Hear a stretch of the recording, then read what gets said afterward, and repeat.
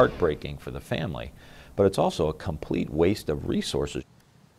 Valley Congressman Tim Ryan talking about Youngstown business owner Amir Adi Othman, who could be deported to his native Jordan on Sunday. Now, we told you about Al's story yesterday. He spent nearly two decades in the U.S. and has built a family. New tonight, First News reporter Amanda Smith takes a look at how local leaders are getting involved with his fight to stay in Youngstown.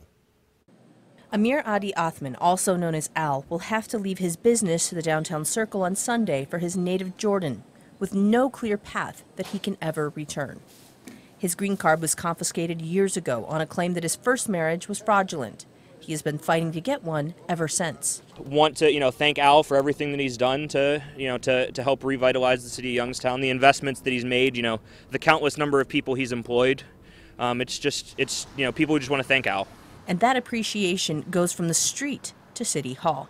We appreciate him, and we, we really um, value him in this community. And if there's anything that I could do personally or professionally, I would, I would do that for him.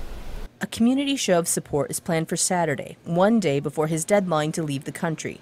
Congressman Tim Ryan has been fighting against the Trump administration policy that's forcing Al to leave. You're using money, manpower, and hours to go after this upstanding citizen when there are violent criminals out there that we should be focusing our resources on and throwing them out of the country. Ryan says hundreds of thousands of people across the country are in similar circumstances.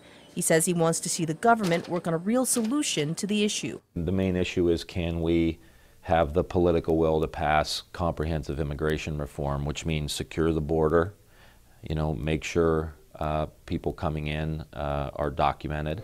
And also finding a path to citizenship for people like Al. In Youngstown, Amanda Smith, WKBN 27 First News.